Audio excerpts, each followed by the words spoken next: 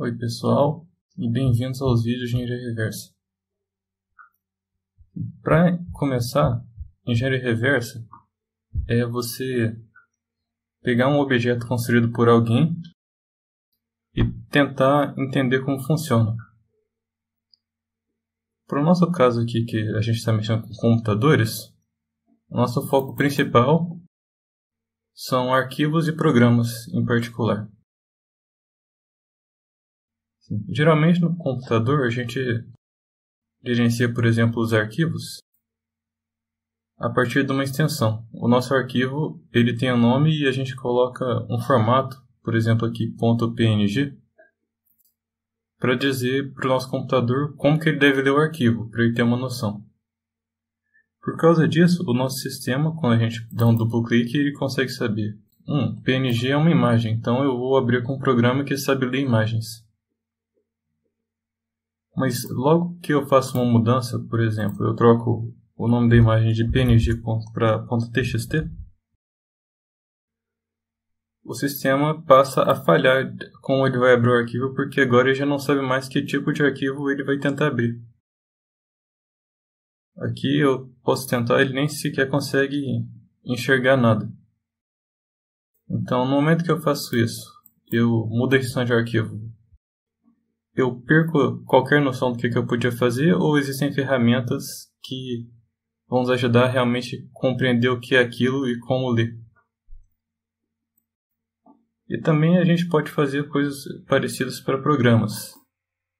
No caso aqui, eu fiz um programa simples para ler uma senha. Ele verifica se a senha é 1, 2, 3, 4, 5, 6.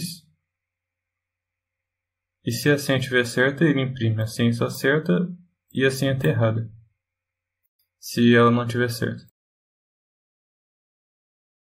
Porém, a gente não consegue rodar código C, a gente tem que fazer o trabalho de compilação.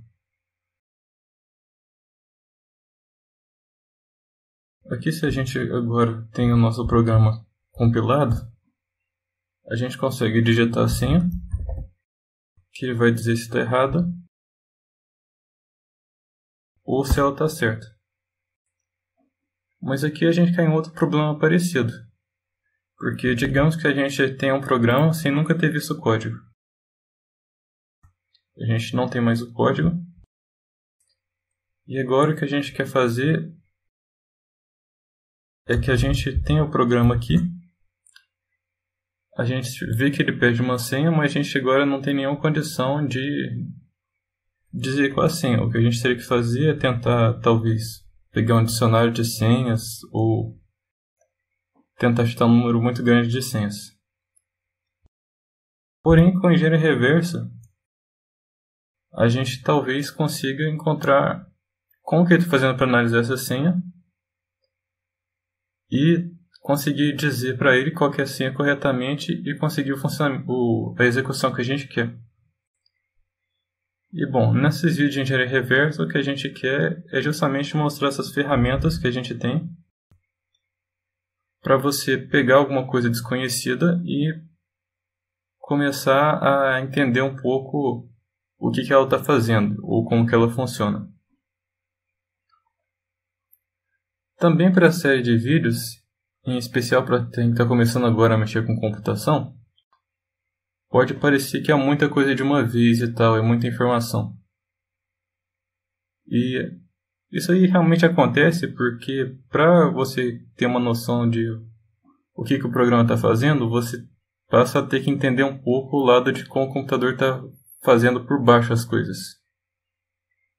Então, para algumas pessoas pode ser muito pesado, mas a parte realmente legal disso aqui é que você realmente começa a ver em detalhes como que o computador funciona e ter uma visão melhor de o que, que seu computador está fazendo, como que ele executa os programas e coisas assim. Mas enfim, a gente vai ter nossas aulas de dúvida e tal, se alguém se sente muito perdido ou acha que é muita coisa de uma vez, então certifiquem-se de aparecer lá e espero que gostem da frente.